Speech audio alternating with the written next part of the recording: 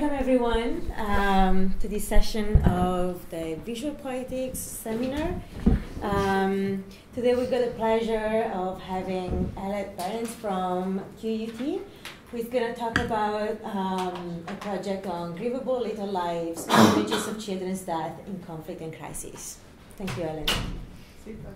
Thank you so much uh, for all coming and for being here on a Friday afternoon. Um, I want to uh, start by acknowledging the traditional owners of the land that we're gathered on and pay my respects to the elders, past, present, and emerging. And to say thank you to Roland in absence um, for the invitation to come and uh, speak uh, to uh, you all today. It's nice to be back at UQ as well. um, so, I have a long standing interest in children and young people. It's been the work that I've been doing for a long time now, I don't think how many years now, um, particularly in how they participate in peace and conflict. Um, and that was the, the work I did in my uh, PhD and work since then, particularly looking at um, peace building in Colombia and other parts of Latin America. But also as a necessary part of that work and increasingly in its own right, I've been looking at how children and young people are represented, how they come to appear um, in international relations and in global crises. as part of that work, for many years, I have thought and written about the appearance of injured and traumatized children in these spaces. Sorry. So much so that both colleagues and even non-academic friends um, now send me the latest images every time they you know, come up on the, on, on um, the social media and, and news sites. Um, which is nice, um, but often a lot in my Facebook uh, message inbox. Um, in recent years, these kind of messages, both that I see and that, that get sent to me, um, seem to be increasingly, I want to say less of injured children, but more of dead children as well. And so I've been thinking how to make some kind of meaning from this, or some kind of sense from it. And it was in this thinking that a statement by the Israeli Prime Minister Netanyahu stuck out to me in 2014 and helped me start to think towards what I'm presenting on today. So in July in 2014, um, Netanyahu gave an interview to CNN's Wolf Blitzer. Um, in, in that interview, he accused Hamas of facilitating the deaths of civilians in Gaza, and he made the following claim. He said, They want to pile up as many civilian dead as they can. I mean, it's gruesome. They use telegenically dead Palestinians for the cause. They want the more dead, the better. so the comment came amidst the ongoing conflict, well, an escalation in the ongoing conflict between Israel and Hamas that occurred in July and August in 2014. But the notion of telegenic death particularly caught my attention in this statement because uh, Netanyahu's comment was specifically prompted by the death of four Palestinian boys who'd been killed by Israeli shelling while playing on the beach. And this idea of telegenic death contains a recognition that certain deaths particularly in this case those of children, are particularly suited in some way for telecast and consumption. Telegenic in implies appealing to view in some way. So what I want to do here is take this example and also three others um, as kind of starting points um, to uh, talk about um, the appearance of, of these images of children. So what I'm going to do now is I'm going to describe this event and then I'm going to show you the image and then I'm going to do the same for the other um, the other images as well. And then there aren't any other images in the presentation. In doing this um, and showing the images, I'm conscious of uh, work that's been done thinking about the, the um, presentation and circulation of uh, violent and, and traumatic images in different ways. Elizabeth Dauphinee talking about the Abu Ghraib photos, talking about, uh, she says, the mobilisation of violent imagery produces an irresolvable ethical dilemma that I confront in doing this work as well. Tom Gregory talks about the risk of fetishizing pain and reinforcing that boundary between us and them when we reproduce these images, and I'll return to that later as well. And Sharon Sliwinski in some excellent work notes that as academics we're not immune from that somehow as well, that we are also imbricated in those power relations and things when we choose to show them. With those kind of caveats and acknowledging that, I've chosen here to show them in this way because while some might be well known, there's others that um, may not. And I also think it's important that we sit with and acknowledge what images we're talking about rather than abstract them here um, in the discussion that I'm going to have. so, the first photos that relate specifically to this uh, point um, are uh, in Gaza. The four boys who were killed, that the comment refers to, were all members of the extended Bakir family. Ahed, who was 11, Muhammad, who was 11, Zakaria, who was 10, and Ismail, who was 9. The deaths were captured because they occurred on the beach next to the hotel that was occupied by the foreign press. The first shell from an Israeli naval vessel hit fishermen's boats near where the boys were playing on the spit, prompting the boys to run away up the beach. The second shell hit the boys as they ran. The way the events unfold mean that there's actually a record of not just the aftermath, but of the moments immediately before and during because of the presence of the media. So, as well as the photograph that perhaps we've come to expect about these kind of things, of the four boys laid out in body bags with their heads showing, there are other photographs, including of the boys running across the beach and others of the, the instance of destruction, as well as photos that then circulated um, of um, uh, a man carrying one of the bodies mm. back across the beach. So as these first three images that kind of appeared as a, as a triptych, as a set of three in my time in my Twitter timeline. so um, the first uh, images. So these are the uncomfortable about sitting in so, people's sight line. The first images that I'm talking about there. Um, the second uh, image um, or images um, from September 2015 when Alan Kurdi, a three-year-old Syrian boy, drowned while trying to cross the Mediterranean with his family and was photographed lying on the shoreline of a Turkish beach. Kurdi's oldest son, five-year-old Galip, mother Rihan or Rihanna, and at least 12 others from the same boat died that day. However, it was the photo of Alan Kurdi in particular, um, in a red t-shirt, blue shorts, his shoes still on, that went viral. there were also other photos that circulated alongside this of the Turkish policeman uh, carrying his body away again across the sand.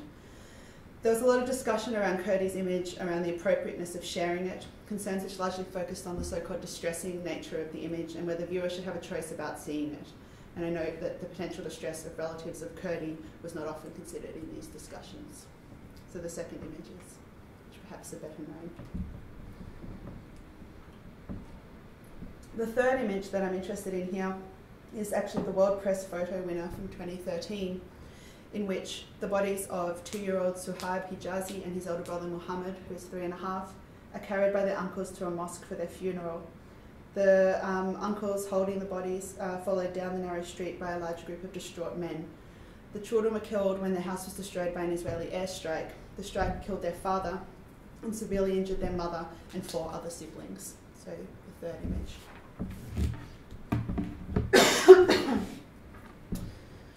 The fourth image is from April this year, when um, around 100 people were killed in a chemical gas attack on Khan Sheikhoun in Syria.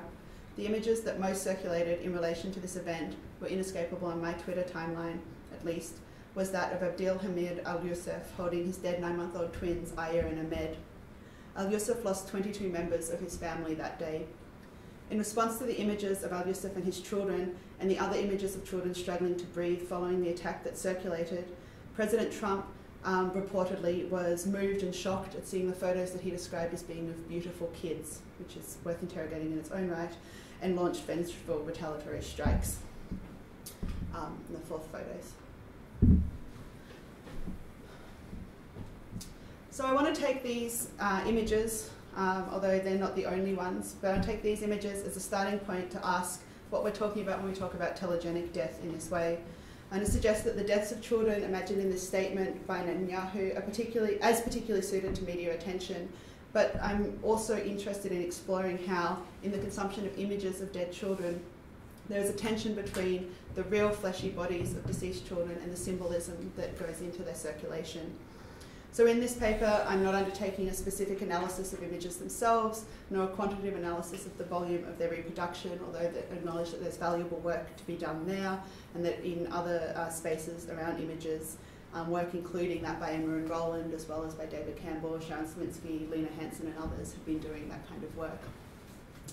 I'm interested here in why these images are considered telegenic and why images of dead children why and how images of dead children specifically shape what Connolly calls the conditions of possibility about how we think of images in these contexts. To do that, I want to start very briefly um, by talking about um, the, the broad um, way in which children feature when we talk about um, global crises. So children often feature in global politics. Um, they're invoked as touchstones of moral purity, of futurity, of hope, but also often as the damaged, violated victims whose treatment demonstrates the amorality of a particular group or government. Which children are seen, where they appear, and when they are mourned also tells us a lot about how we are to perceive a conflict or tragedy. Rarely asked to speak, the bodies of children become symbols of that catastrophe or cruelty.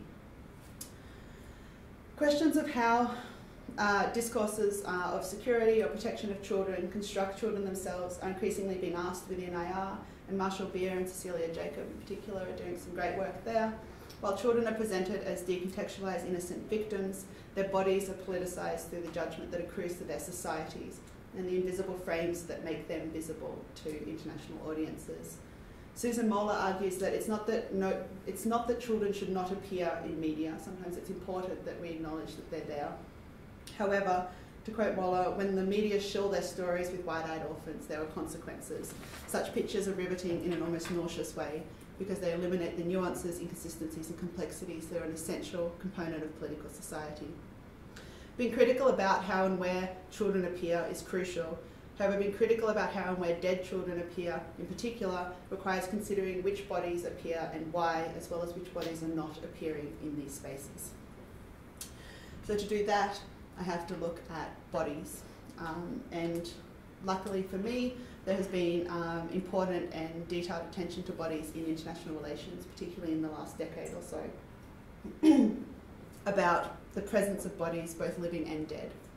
So the Abu Ghraib photos are an important site of examination of how living bodies are made abject, objectified, and inscribed with various power relations. And Elizabeth Dauphinee, as well as Sontag and Butler, among many others, have explored the violence against uh, bodies in these photos. Military violence against bodies has also been explored. For example, outstanding work by Thomas Gregory, uh, looking at the so-called Afghan kill team of US soldiers who killed, dismembered, and photographed the body of an unarmed boy, uh, Afghan boy, uh, Gulmuddin, challenges the ways in which we comprehend pain and violence against the body in war. While other work that Gregory has done on civilian death in Afghanistan contributes to understanding the livability and grievability of bodies. Lauren Wilcox has examined spectacular death and violence through close feminist attention to gendered bodies and the abject bodies of suicide bombers, as well as bodies more broadly through um, her book, which I commend to all of you, and Jessica Auchter has been talking about the role of dead bodies in security studies uh, in particular, and again, that's been excellent work. These are all close exceptional works on violence towards bodies in IR, and they contribute much to our understanding of the politics of the body as an explicit site of analysis. In focusing on dead children's bodies rather than just children in distress, I follow these and others working in this space to argue for the importance of the corpse as a significant subject in IR, and one that we need to confront directly. Jessica Auchter explains that dead bodies are complex. They have both emotional and evidentiary value. They pose important questions for security frameworks, including what happens when they're thrust onto the scene in a way that is unexpected or taboo. So in this work then I'm interested in how these images of children are presented and how does the physical evidence of death and pain that is inflicted upon children in them challenge contemporary frameworks in which to follow Butler, some lives are apprehendable as living and some are not. So that's where I move to next. So in seeing those bodies that are often overlooked in international relations discourse, those bodies which are often constructed as the accidental or tragic outcome of necessary conditions rather than a fundamental constitutive part of doing international politics, we can argue that the body is not only produced but can, that can not only produced but can be productive. And as I said, Lauren Wilcox, um, in her Bodies of Violence, um, argues this in um, really excellent detail. The conceit of much traditional IR is its willful ignoring of the fleshy bodies that the practices of state making and war create. And feminist IR scholars have for decades now, through their attention to gender and diverse identities in the sphere of war, opened space to consider different bodies seriously in international relations Inherent in this work, though, is still choices about what bodies are made visible in discourse, and still in all of them, the bodies of children and young people are not given meaningful consideration. So, in order to try and speak meaningfully of the dead bodies of children, I turned to Judith Butler for help. So, Butler's work, um, particularly in Precarious Lives in 2004 and Frames of War in 2010, gives an account of life that is precarious and vulnerable. For Butler, the precariousness of bodies and life comes about, to quote her, as a result of living socially, that is, the fact that one's life is always, in some sense, in the hands of the other. However, the grievability of a human life is also differentiated due to social and political posi- positionalities. Butler draws attention to this difference by asking who is recognised as we in the global political community. She asks whose lives are considered valuable, whose lives are mourned, and whose lives are considered ungrievable. For Butler, a grievable life is one that has been lived and can be apprehended as such. And Butler argues the counter to this is, to quote her, a life that will never have been lived, sustained by no regard, no testimony, and ungrieved when lost. Life must be apprehended by others, and others determine how and why another life is included in those lives that are considered valuable. So then we have to ask how or why lives are how or why lives are apprehended as living and thus grievable. The vulnerability of bodies and their precariousness differs in different locations also. Lauren Wilcox argues that what Butler's work does nicely is outline how our bodies are, to quote Wilcox, ontologically vulnerable, whereby certain lives are not considered lives at all. Thus, when they're killed, they're not intelligible as human at all. Butler argues it's not just that a death is poorly marked, it's that it's unmarkable. Such a death vanishes not into explicit discourse, but into the ellipses by which public discourse proceeds. Butler argues that those bodies which are not regarded as grievable and valuable are also then, in the international system, made to bear the burden of starvation, unemployment, uh, sorry, underemployment, legal disenfranchisement, and of interest here particularly, differential exposure to violence and death. In the contemporary environment, we can recognise these conditions um, where we do not regard certain populations as grievable. For instance, those suffering individuals whose experience and presence constitutes the so-called Mediterranean migrant crisis, the victims of drone attacks, civilians enduring Syria's civil war and many other wars. Some bodies, though, are intelligible because they have complied with various norms. However, bodies that have been subject, to quote Wilcox, subject to normative violence are often then able to be subjected to the forms of violence that IR is more comfortable theorising. And here Wilcox is talking about torture, drone death, enhanced security measures, and so on. So it's evident then in the global circulation of power and privilege and the maintenance of political norms, certain bodies are erased. Or perhaps more accurately than erased, these bodies were never seen as bodies to be counted at all. However, some bodies are seen, are framed and counted and reproduced.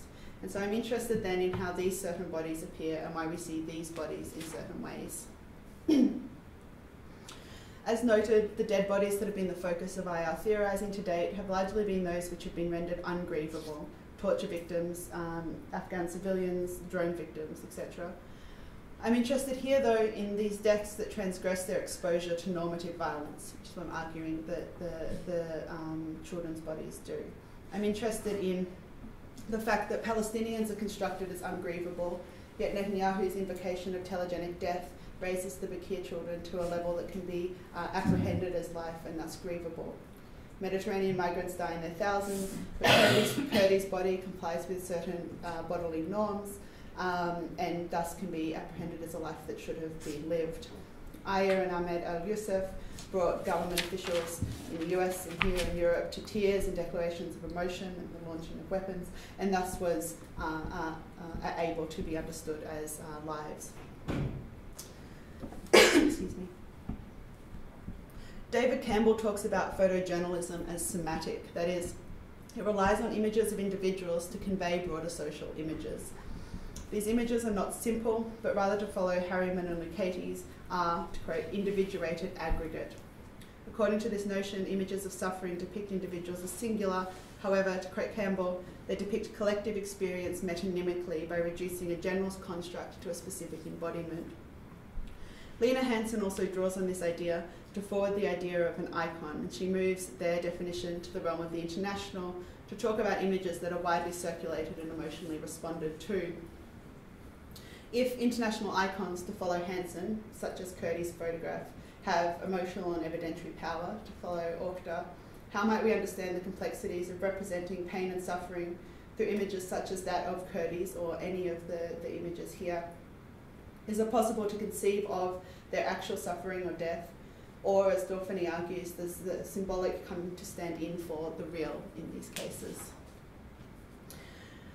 I think it's also really crucial to note that Ahmed Mohammed Zakaria and Ismail Bakir, as well as Alan Kurdi, as well as Suha Muhammad and Hijazi and Aya and uh, Ahmed El Youssef, were only mournable in death. Their lives as children were not able to be apprehended as living. And I believe there are two considerations in terms of framing here. One is to do with the fact that they are children. Oh, I say there's two, there's many others I'm going to talk about too here. One is to do with the fact that they are children, which we've been talking about through this presentation so far, and the universalizing nature of images of children. Their status as children and these assumptions that attach to their bodies allows their deaths to be apprehendable, to be circulated via images of tweets and news articles.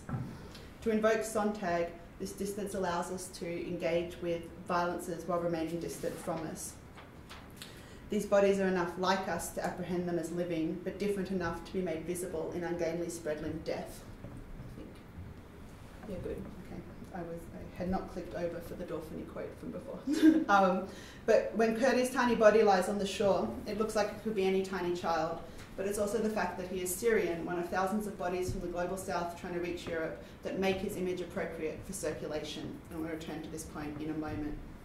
Before I do that, the other frame that I'm interested here in thinking about things through is that of gender and the iconography of perhaps the motherly or parenting bond that is inherent in these photos. This particular idea is more recent in the work I'm doing and has been prompted by thinking about images of children not only lying alone on the seaside, but children mourned and held by family. So, if there's a universalizing pool of images we've just discussed, there are these other things at work also. Images of a mother bent low in pain, a grieving father, reoccur throughout humanitarian and war photography. And I argue here, as others have, that photographs of suffering and crisis rely on and reproduce images like this because they are in some way iconographic. Zarzycka argues that this is, she calls it symbolic accessibility, where tropes are deployed because, to quote her, they're safely communicable in their universality.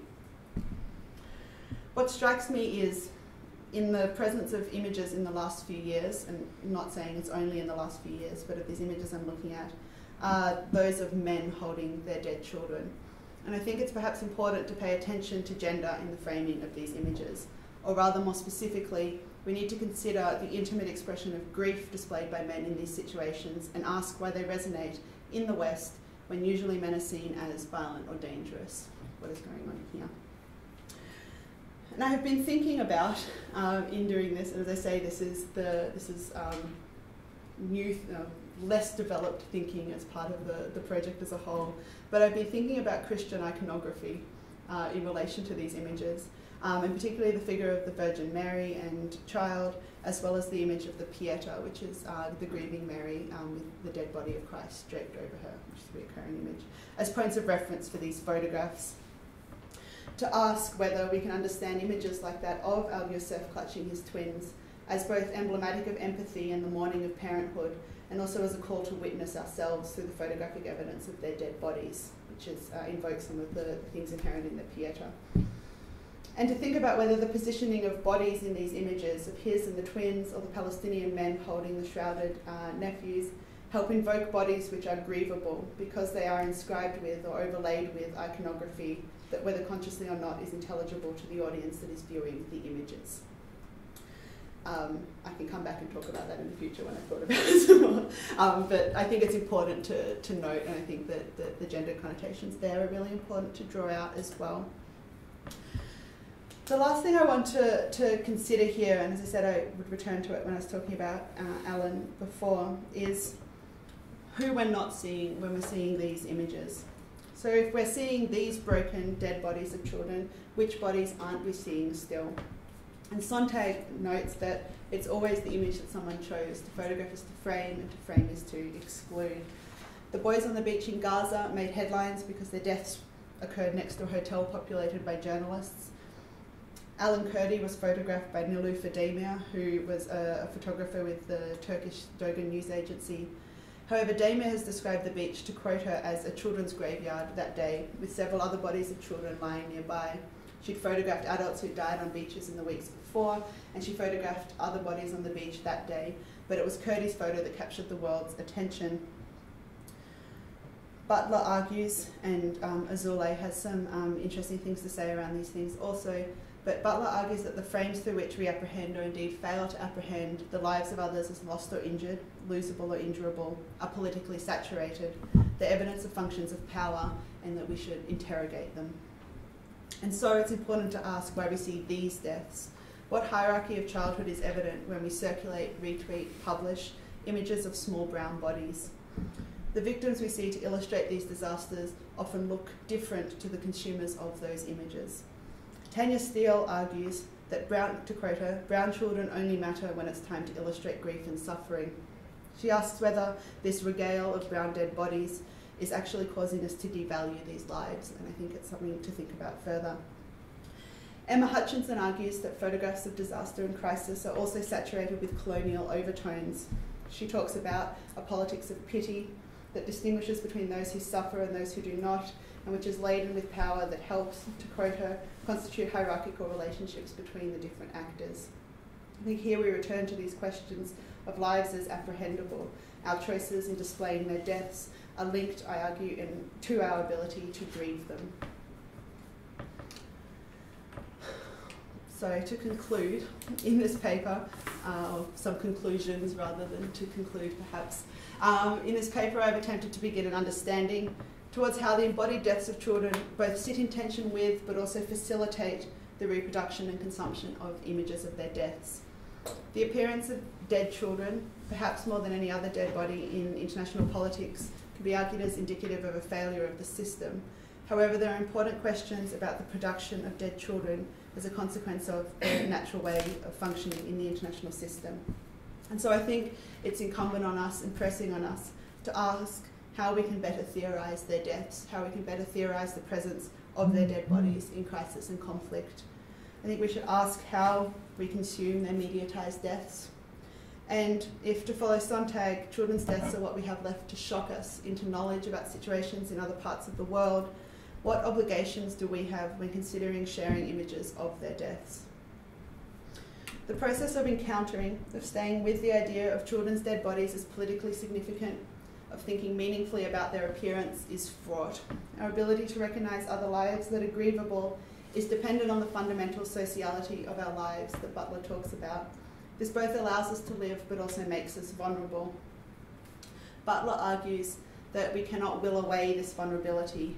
She argues we must attend to it, even abide by it, as we begin to think about what politics might be implied by staying with the thought of our corporeal vulnerability itself a situation in which we can be vanquished or lose others. Our vulnerability is predicated on our capacity to recognise others and to mourn their deaths. The fact children's deaths are particularly telegenic should raise questions for how we understand relationships on a global, on a global scale, for their deaths and our lives are intricately connected. And questions of security and of rights and of responsibility must be asked when we confront these images. If we have apprehended these young children as grievable lives, what consequences that now have for how we think about the lives that we do not apprehend? The notion of telegenic death needs further interrogation beyond what I've uh, commenced here, and I think particularly fruitfully in how it in regards to how it sits with the well-established aesthetic term in IR, as well as the emotional register of engaging with these deaths, which I have engaged with uh, a little bit, but not here in this presentation. Certain children are made visible. The spectacles of their death necessitates more critical engagement with what their appearance contributes to how dead bodies as subjects are understood in international relations and how we analyse, encounter and meet with the images of their deaths in international crises. Thank you.